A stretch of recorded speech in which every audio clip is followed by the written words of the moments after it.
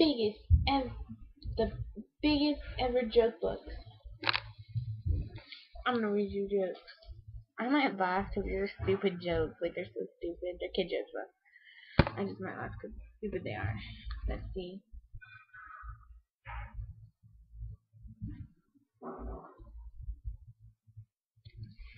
What was the carpenter's son? A chip off the old block. You know, what? I'm just gonna say the jokes, but I'm not gonna do the answers. So I'm gonna get a pen so I can mark the pages and what joke I did, and then next Saturday I will answer them. So let's try to figure it out. No, yeah. So yeah, if anyone sees this video, they'll be able to answer them, whatever, write down something, and then be like, oh my god, what, or just whatever. So, how does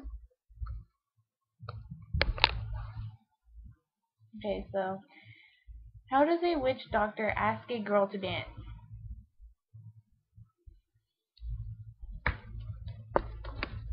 Um,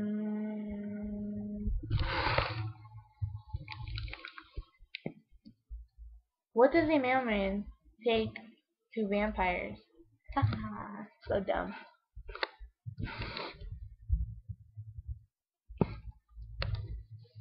And then did you hear about the man who set up a flea circus?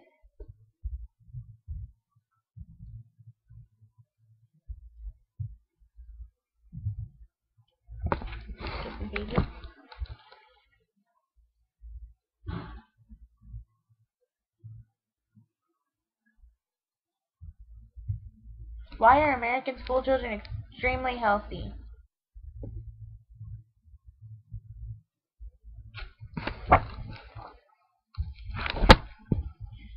Who was the famous French ant?